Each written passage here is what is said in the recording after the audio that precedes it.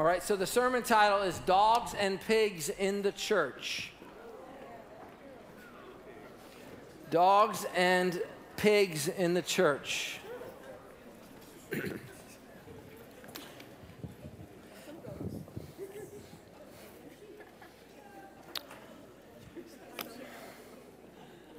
Turning your Bibles to 2 Peter chapter number 2.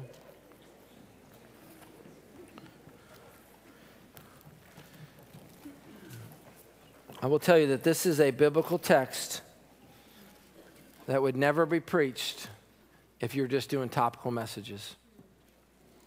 You would not want to tackle this. This is a hard text.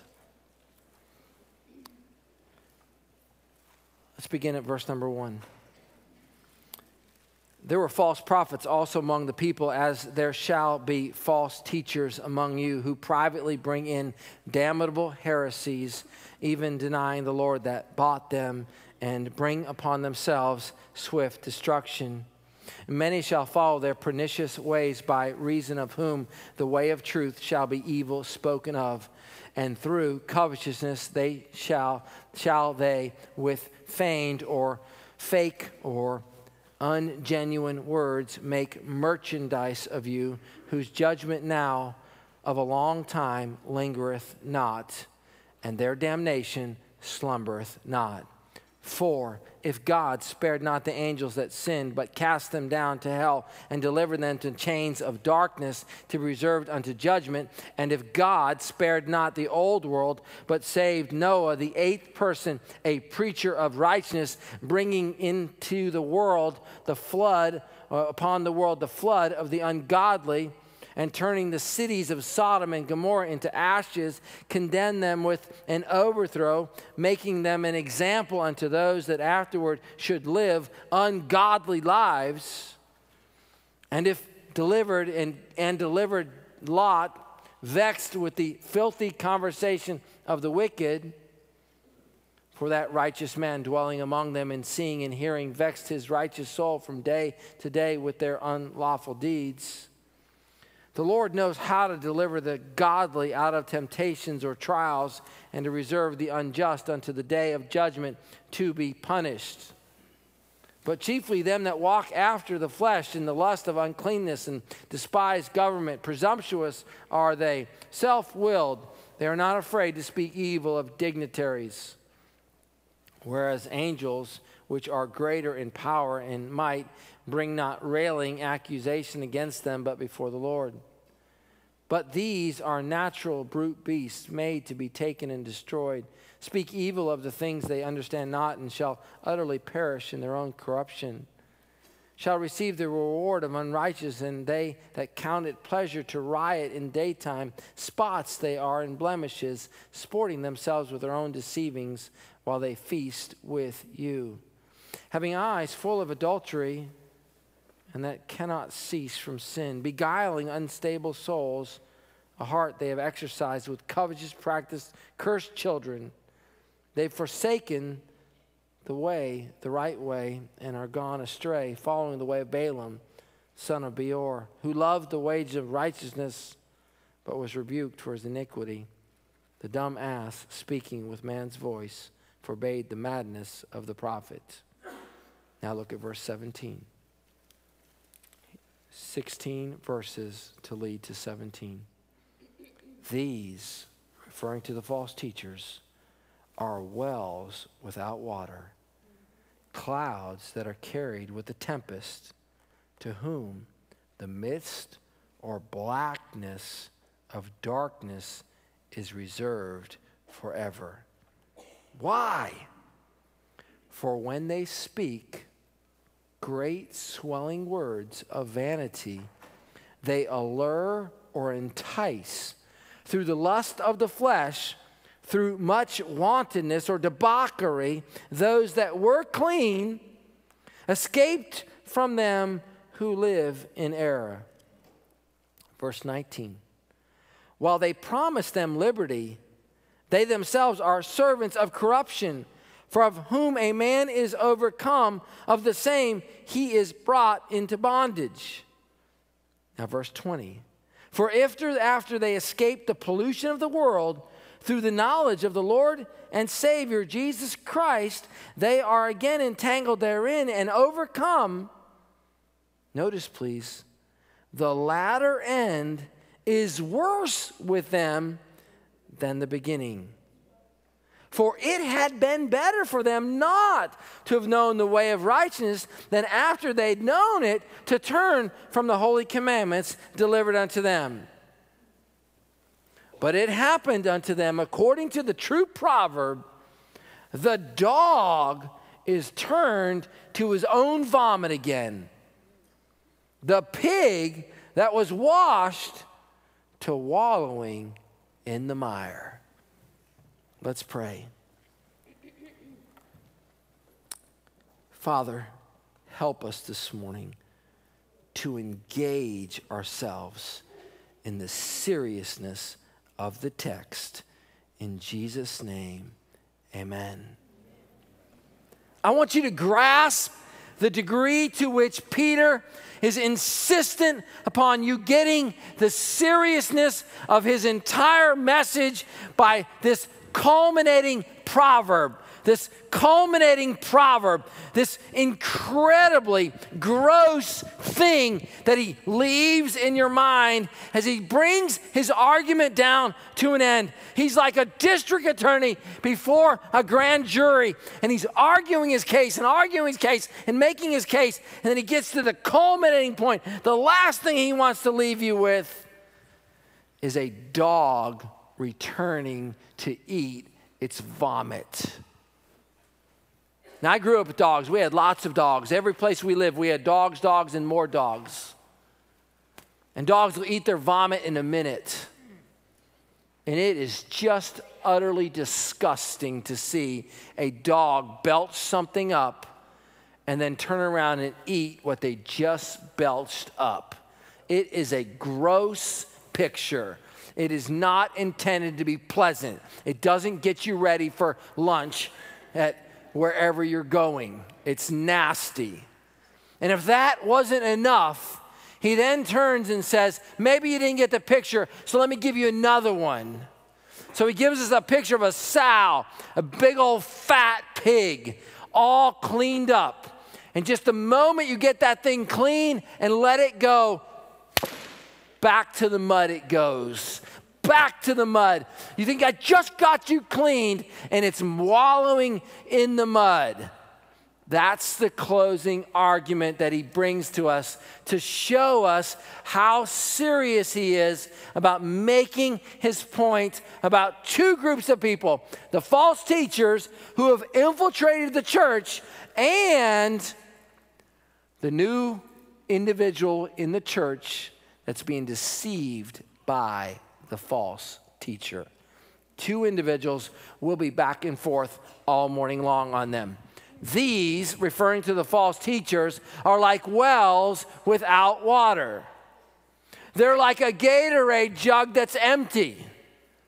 You've had an amazingly hard practice. You're exhausted. You go over to the bench, you mash the button, and nothing comes out and you realize this jug is empty and I will not have my thirst quenched from it. But of course, we're not talking about water and Gatorade jugs this morning. That's not what we're talking about. We're talking about the fact that the false teachers do not quench your thirst the message that they bring every Sunday from their pulpits all over the world, the message that they deliver through their podcast, the messages that they beam through the internet, those messages, while they sound awesome, while they look like a beautiful Gatorade jug, while you think, wow, it's going to be great once I get over there, once you get into it, you realize this doesn't truly satisfy my soul. And the reason it won't satisfy your soul is because each and every one of us inside know we're sinners in need of redemption.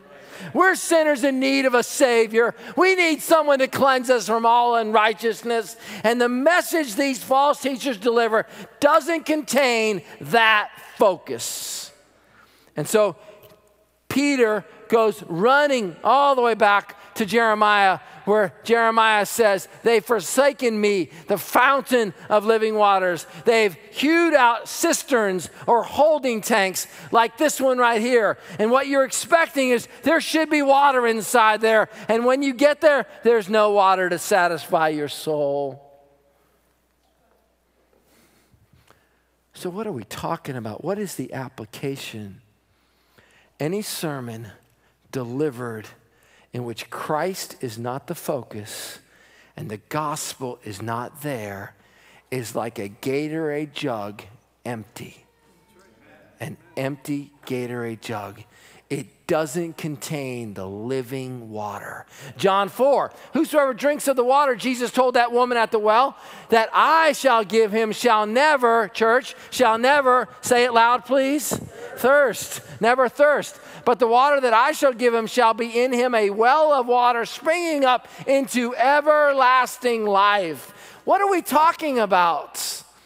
The gospel of the Lord Jesus Christ is the single greatest demonstration of mercy, compassion, generosity, self denial, perfect obedience to the will of God, sacrificial, unconditional love in the history of humanity. Now, that's a sentence. So, we're not going to just run over that. Let's see what we're talking about here mercy, compassion, generosity for God so loved the world that he gave his only begotten Son. Jesus denied himself. How did Jesus deny himself? He left the glories of heaven where he was and seated and adored and all that to come to earth, to take on human flesh, to get diarrhea, to be dehydrated, to get headaches, to be this and that, and go through every single thing that a human being goes through in order to get to a cross in order to die on a cross. He denied himself. We're talking about perfect obedience to the will of the Father, not my will, but church, thine be done. We're talking about unconditional love for humanity. We read earlier in Peter that Christ died or bought or secured potential redemption for those that he knew would spit in his face. It's one thing for a husband to die for his wife. In fact, we expect you to die for your wife. In fact, we question whether you're a man if you're not willing to die for your wife. But it's a whole nother thing to die for someone that you know hates your guts. And so, what are you saying this morning? I'm saying that these values, qualities, characteristics, attributes are the filter that you run the sermon through if you're trying to decide is it a gospel centered sermon or not. And so you take a 45 minute sermon that you heard from a potential false teacher and you say, did it have emphasis on generosity? Did it have emphasis on being obedient to the will of the Father? Did you see an encouragement to be merciful, tender, compassionate, gracious? Were you encouraged to deny yourself and take up your cross and follow Jesus Christ? Were you encouraged to love your brother as yourself or as your neighbor as yourself? Were you encouraged to love God with your whole heart, mind, soul, and being? And if the answer is no, no, no, no, no, then you you say, that message is like a Gatorade jug empty. Because what we're looking for this morning is not to feed the lust of the flesh. We're looking for encouragement this morning to be more like Jesus and the values and the attributes of Jesus are more closely seen in the gospel than anywhere else. And so, what Peter is saying to us this morning is that each one of us need to learn to have discerning ears. And we need to listen to the teacher, whatever it is. I won't call names this morning, but you fill in the favorite false teacher out there. And you say, Was I encouraged this morning to obey the will of the Father? Was I encouraged to be compassionate? Did I see in here a generosity, a spirit of generosity, etc., etc., etc.? If the answer is no, potentially potential false teacher. You see, messages that do not promote these values and characteristics are not Christ centered and therefore absent of the living water. And so Peter says, To these, these, notice verse 17, please. These are wells without water. They are clouds that are carried about with the tempest. They go here, they go here, they go here. They just move about. To whom the mist of darkness is reserved. If you have an ESV in your lap, it's going to say the word blackness. And that's a great translation because in Jude 13, the King James translators translate the exact same Greek word blackness. So the blackness of darkness. What are we talking about? What in the world do we need to say? The blackness of darkness. Jude's point in Jude 13, Peter's point here is that God has reserved a special place in hell for those who deceive others. That's how serious it is. It's already dark, it's the blackness of dark. The remote corner the idea would be it's already dark in there, but the further you get in here, it's getting darker and darker and darker. Can you imagine that kind of scenario in your mind? Hey, hey, God's in charge of hell. That's right. Your placement in hell is determined by God. Amen. You ever heard some stupid soldier say something like, When I get to hell, I'll be in charge? No, you won't. God's sovereignty extends to every inch and every corner of the entire universe. And God is in charge of the location of your judgment in hell. You say, where are you getting that from? I'm getting it from is to is reserved the utter darkness of them forever. What a scary thought. This is serious business. He is making a significant point here. Jesus talks about utter darkness three different times in Matthew 8, Matthew 22, and Matthew 25. Peter's talking about hell here, the hell in which he said that the angels are delivered to and reserved in chains of darkness to be reserved unto judgment. God has a special place in hell for those who lead people astray? The answer is yes. That's why James 3 says, Not many of you should become teachers. You decide, I'll, teach. That's a very serious calling. I'll teach, I'll speak on behalf of God this morning. I'll take the people of God into a classroom and I'll tell them, Thus saith the Lord. Peter says, That's a serious calling right there. Not many of you should become teachers, my brothers, for you know that we who should teach should be judged with greater strictness. Better look at the Bible one more time. Make sure you get it right. Study the context. Make sure you're teaching what is true. Why? Because you will be held to a greater degree of accountability. This is what the whole point of verse 15 and 16 was with Balaam as, as an example right here. He says, They've forsaken the right way, they've gone astray, they've followed the way of Balaam, who loved money he was rebuked for this sin. In fact, it took a dumb ass speaking to him with a man's voice to stop his madness. And to that individual, Peter compares the false teachers of the year 2015. Let's look at verse number 18, please. For when they speak great swelling words of vanity, they allure through the lust of the flesh, through much wantonness, those that were clean escaped from them who live in error. We've got one group and they're called those that live in error. Then we've got another one that looks like they've escaped right there. And then we've got a group that allures them. So we've got false teachers who allure a group of individuals, not the ones that are living in error, but the ones that were clean escaped from them. Three individuals right there, are three groups in that the false teachers, those that they're enticing with words, and those that live in error. We're talking about the ones that they entice with words. Let me show it to you in a couple translations to see if I can unpack it. For these false teachers, speaking loud boast of folly, they entice by sensual passions of the flesh those who are barely escaping from those who live in error. Or let's look at another one there. For by high speaking, sounding, but empty words, they are able to entice with fleshly desires and with debauchery people who've just escaped from those who reside in error. What are you saying? The message of the false preacher or false teacher appeals to the pride of life, the lust of the flesh. That's what it does. It appeals to them. Well, think about what you know about the prosperity gospel of the 21st century. Is there any other teaching that appeals to the pride of life, the lust of the flesh, the eyes that you see? It says, if you do this, God will give you this. It's appealing to materialism. It's appealing to the possession of physical things.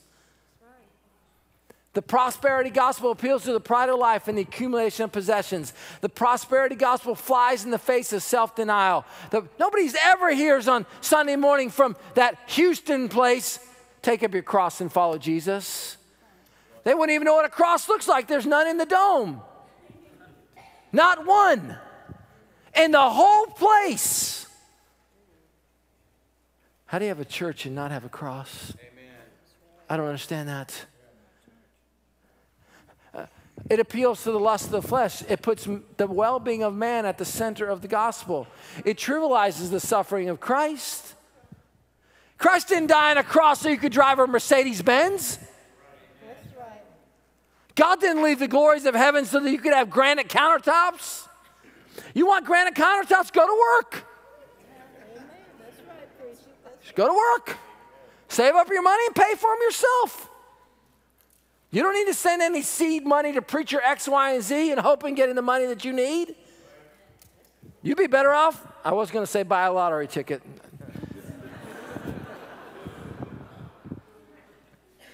Second Timothy 4 3 says, For the time will come when they will not endure sound doctrine, but after their own lust they shall heap to themselves teachers having itching ears. We're there. We're there. Greenville, South Carolina. Greenville, South Carolina is the home of Bob Jones University. It is the buckle of the Bible Belt. More churches in Greenville, South Carolina than any other city in the United States per capita. First Baptist Church, Greenville, South Carolina, three weeks ago, four weeks ago, voted. First Baptist Church. Say, what's the big deal about First Baptist Church? First Baptist Church, Greenville, South Carolina, was the very first church. Its pastor was the president of the Southern Baptist Convention, the very first president of the Southern Baptist Convention in the 1800s. I'm talking about that was before there were independent fundamental Baptists. That's when Southern Baptists were the independent fundamental Baptists. That's when there was no question as to what conservatism was. It was found in First Baptist Church, Greenville, South Carolina, first president of the convention. Three weeks ago, they voted to ordain transgender clergy. I did not say a Methodist church. I did not say Episcopalian church. I didn't say a Lutheran church. I said First Baptist Church, Greenville, South Carolina. I didn't say Vermont, where all the liberals are. That's not what I said. I said South Carolina. South Carolina. So don't you think that we're exempt from the days in which they shall, after their own lust, heap to themselves teachers having itching ears. I decided that the sermon was worth my attention, so I went to their website, looked up the sermon. It was 15 minutes and 30 seconds long. That was the Sunday morning sermon. You can't even get an introduction in 15 minutes. That was the entire sermon. There was not one single reference to a book, chapter, or verse of the Bible in 16 minutes. Not one. Seriously. He mentioned truth and said it's in the New Testament, it's in the Old Testament. I'm talking about quoting scripture like 1 Samuel chapter 7 so that people would be expected to look it up in their own Bibles. Not one single mention. For the time will come when they will endure sound doctrine, but after their own lust, they'll heap themselves teachers having itching ears. And the church is here, folks. So, verse 19 says, While they promise liberty, they themselves are servants of corruption, of whom a man is overcome, the same as he brought into redemption. Jesus said it like this said, You can't serve two masters. You cannot serve two masters. You love the one and hate the other. You better figure out what servant you're going to serve, what, uh, who you're going to serve. In the prosperity gospel, liberty is found in dollars, not in Christ. Here's the message if you just get to that income level, you'll be happy. You know what happens? You get there and you're not satisfied. So, you know what you need? A new level. And when you get there, you won't be satisfied either. In fact, there'll never be enough money to satisfy you. Christ is where your true satisfaction will be found. But you can't find Christ in those churches. He is absent. They kicked him out a long time ago. So, what are you enslaved to? I mean, I am growing to understand that we have people sitting here that are living double lives. Two weeks ago, I was made aware of the fact that we had a church member here several years ago that was living a double life. What are you talking about living a double life? He would come into services with his Bible, go to Sunday school, work in our ministry the entire time. He was carrying on multiple affairs for four years. So let's not be stupid this morning or naive. There's probably someone here sitting here doing the same thing.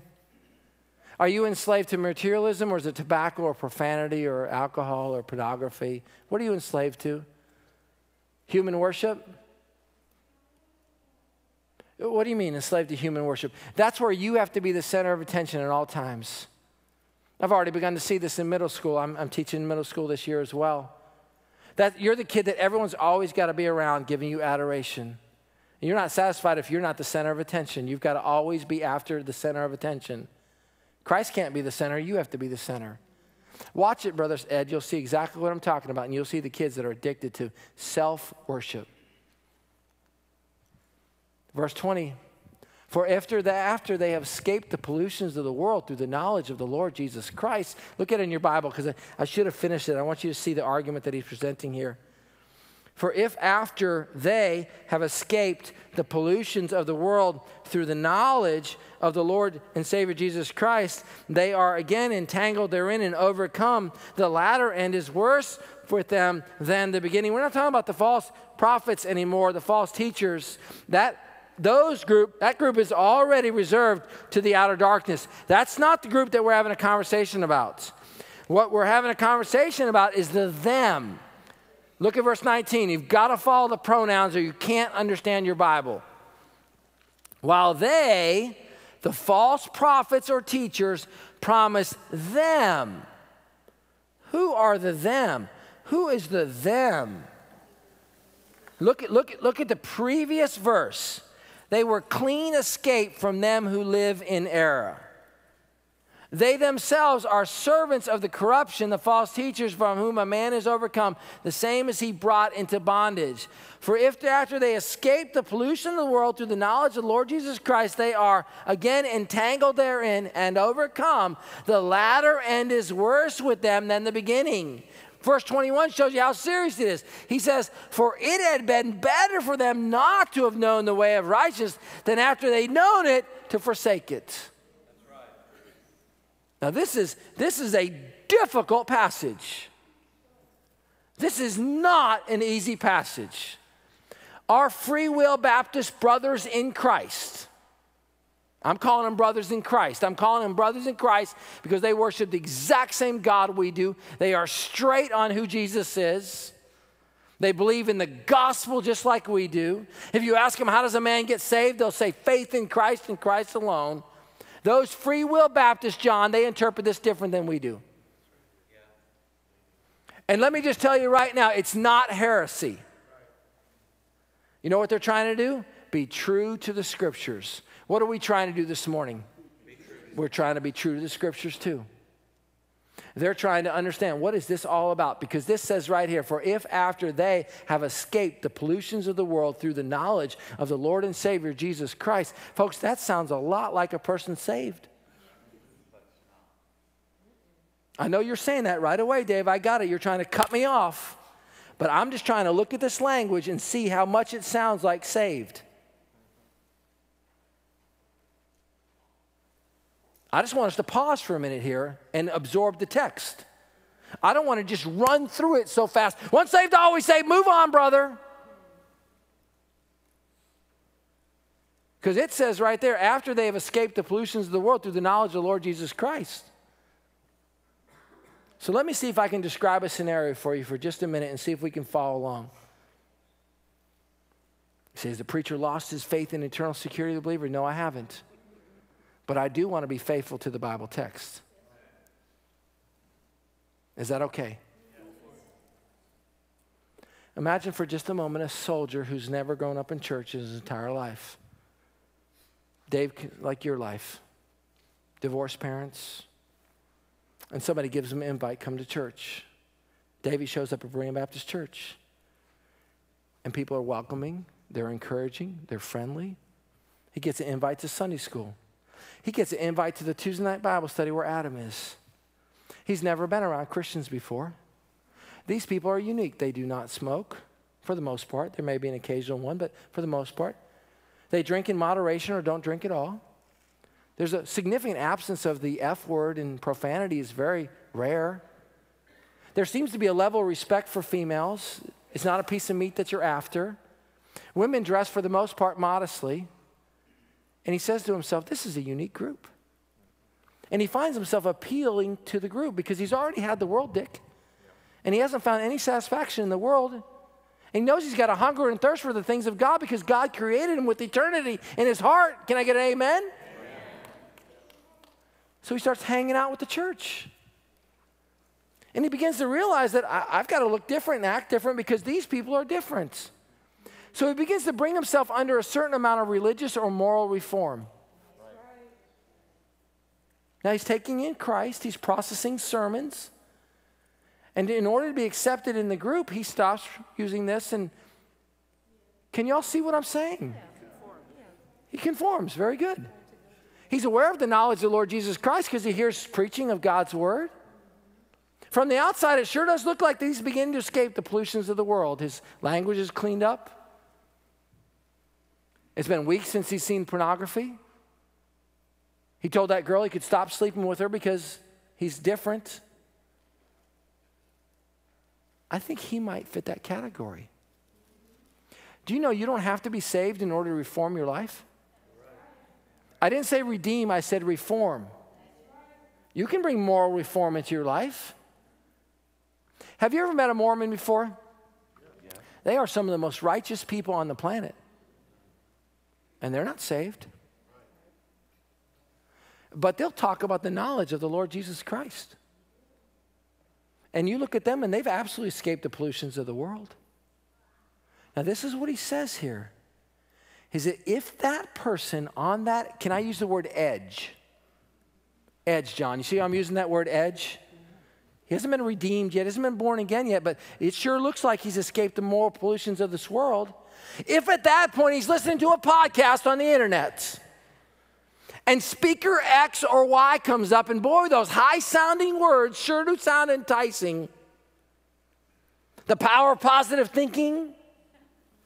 Get a hold of this and move forward. Send this ministry. And suddenly, someone who was on the edge of conversion, right there, just right there, folks certain amount of moral reform going on, hearing the words of Christ, beginning to understand the gospel. Then suddenly he's drug away by the false prophet into a false religion way over here, church, with enticing words and corruption and debauchery. But he thinks he's in Christ because of the enticing words that are used the debauchery, the sensual, the appeals to the lust. What does Peter say about that person? It would have better for them not to have known the truth than to have known righteousness and abandon it.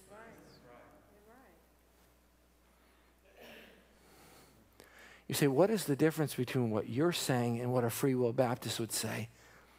The free will Baptist would say they were born again and went into apostasy. Now, listen to me very closely. I don't want to misrepresent them. They do not deny the sufficiency of Christ's work, Dave. They do not say that what he did wasn't sufficient. They say that God gives us the will to apostatize. We would disagree with that. We would say that this person was not converted.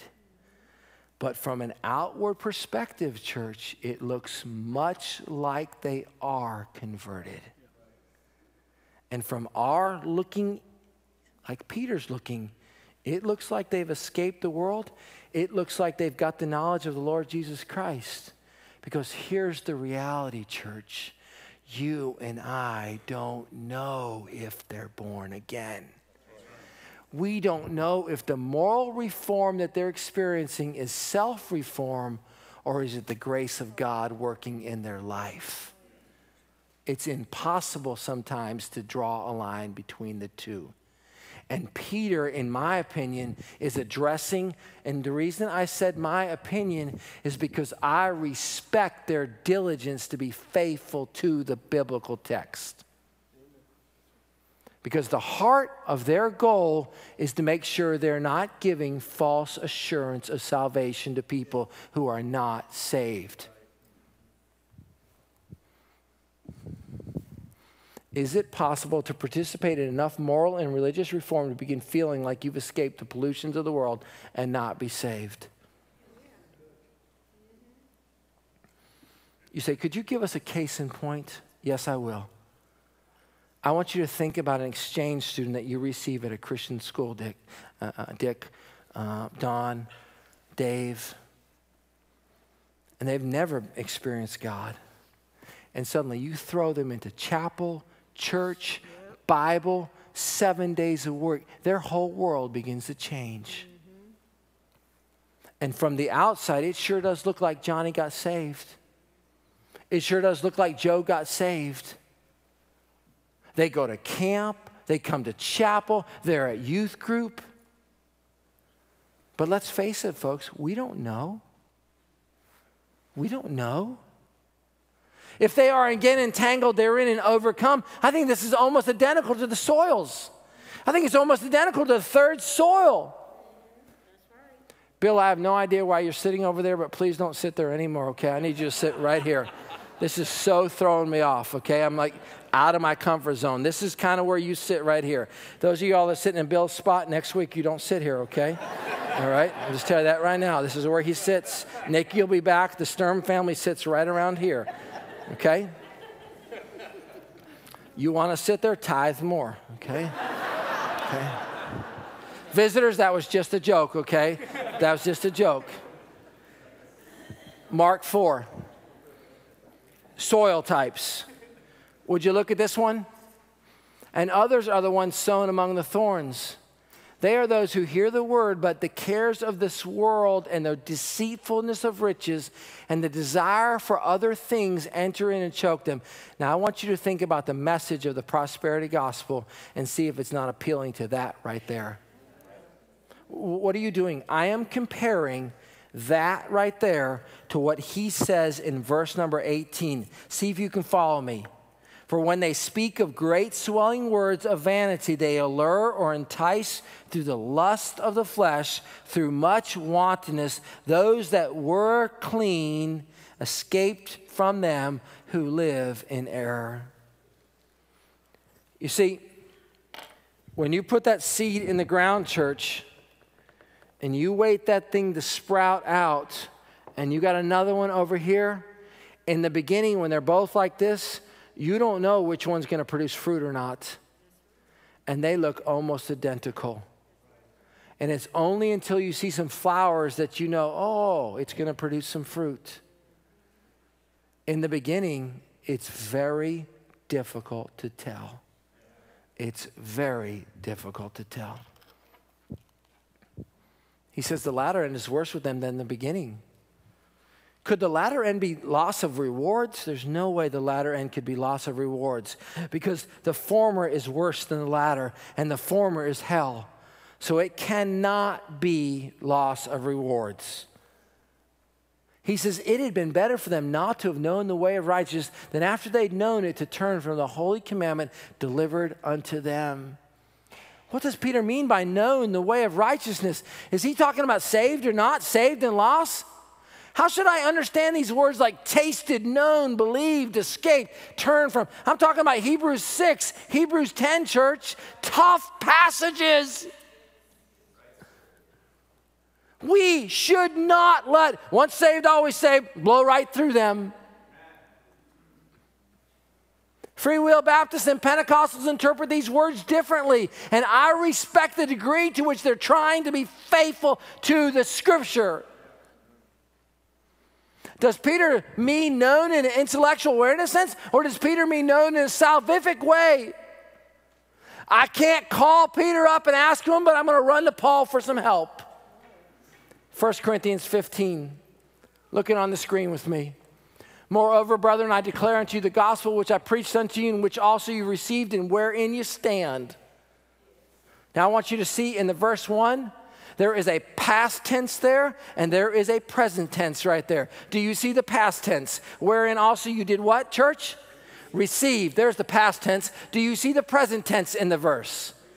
You're standing on it right there. So I, in, in the past, received the gospel to be true. And how am I characterized? I am presently standing on the gospel. This is what I believe. This is my present truth. I believe that Jesus left the glories of heaven. He was born of a virgin, lived a sinless life, died on a cross, buried, rose again on the third day, ascended to be on the Father and right hand, and mediating for my sins and coming in to get me. And this is what I believe right now. Past, present. Now, can I get some help for the future? Verse 2 By which also you are saved. If, because it's in your Bible, folks, if you keep in memory what I preached unto you. What's if you keep in memory? It's future. Uh, keep in memory, like, don't forget the eggs and the milk.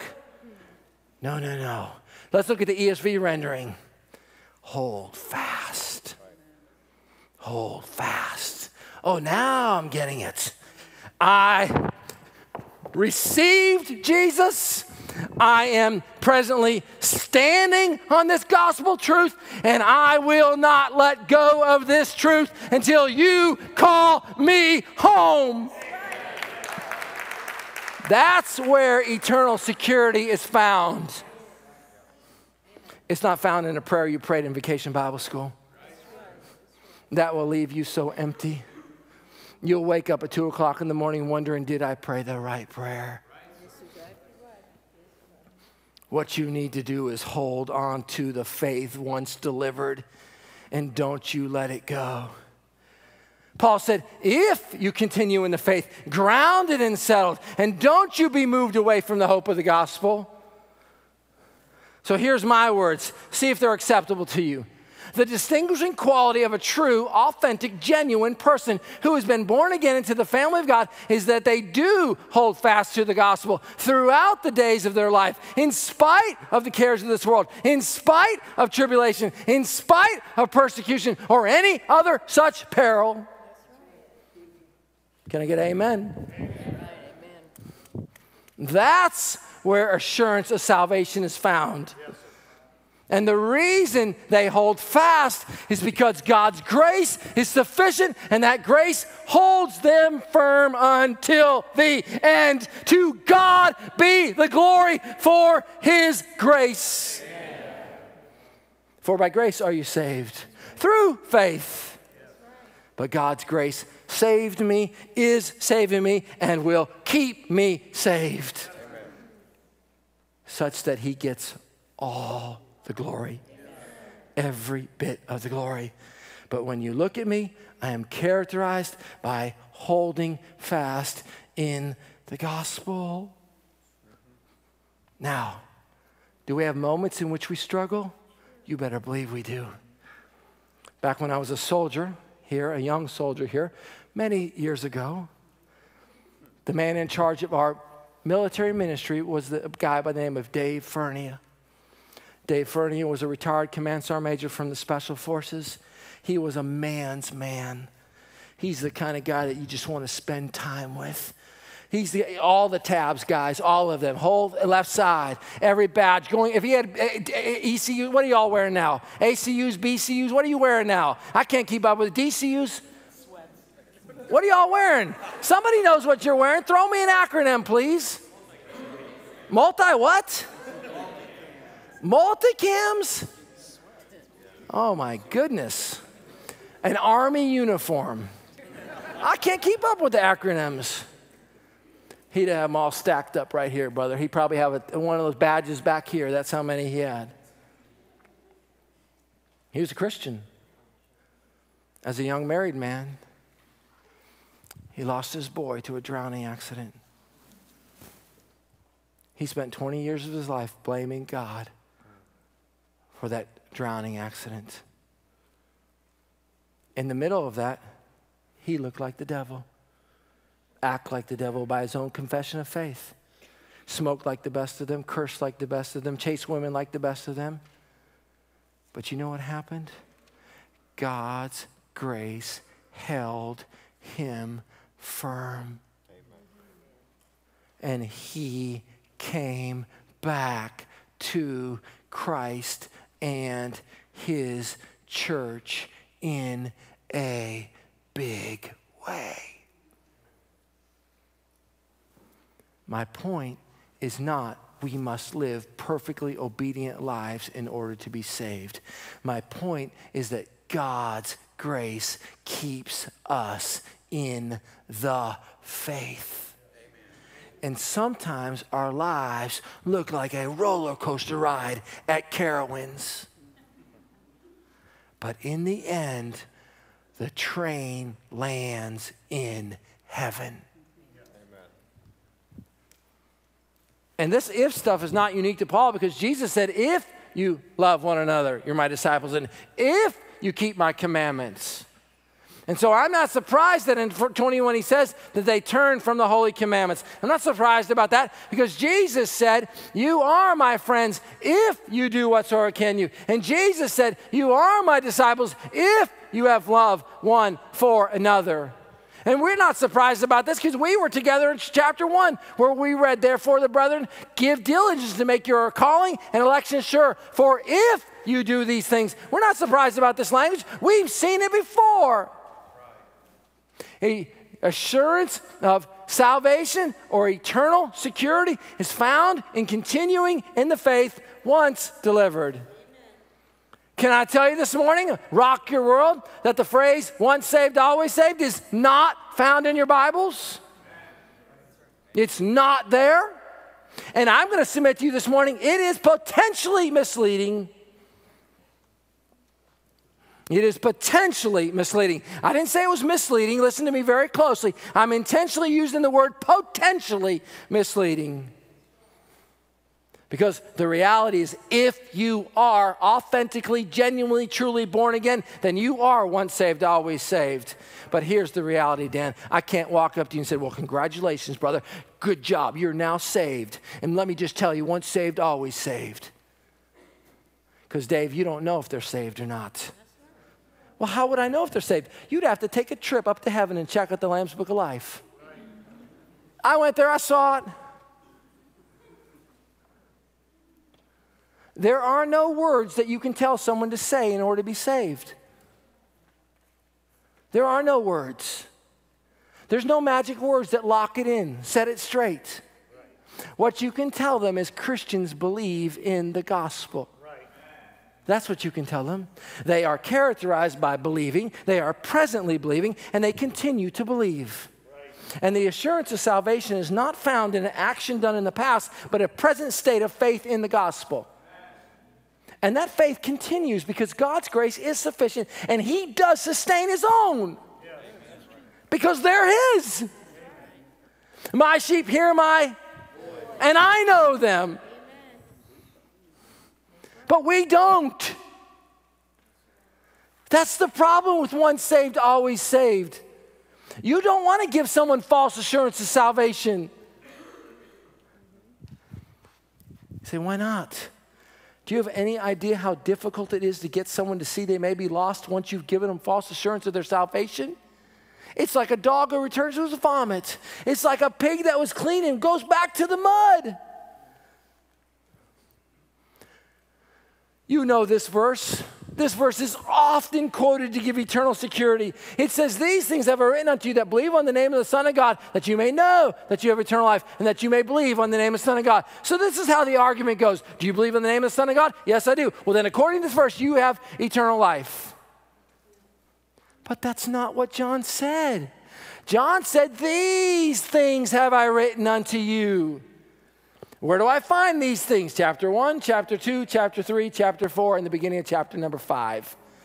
So we did an entire sermon on these things. You can check it out this week on the web. 12 things that you can find in First John to check out your salvation. Balaam, that's our example from last week. You know what he said? He said, The Lord my God. Balaam said, The Lord my God. How about this character right here? Do you think that Judas Iscariot believed that Jesus was the Christ? Well, in what sense do you mean by that? Like Peter in Matthew 16? Well, no, I don't believe he was born again. But do you think that he thought that Jesus was something? You better believe he thought Jesus was something because he hung out with him for three and a half years. Consider what Jesus said in Matthew 7. Not everyone that says to me, Lord, Lord, shall enter into the kingdom of God, but he that does the will of my Father. Say, why are you so passionate about this? Here's my concern. Do you understand the number of students that come into our ministry, either through Sunday school, Awana, or Berean Baptist Academy, that know these things in an intellectual sense, but haven't appropriated them in a salvific way? What would it look like to come to Berean Baptist Academy in kindergarten and stay here for 13 years of education? How many chapel messages would you sit through? How many Bible lessons would you go through? How much accountability would you be creating? I'll show you how much accountability. It's like this.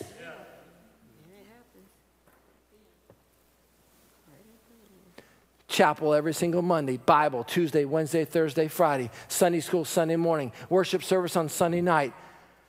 And then you turn from the commandments? Then you walk away from the truth? Wouldn't you say that it looks like that person had known the way of righteousness?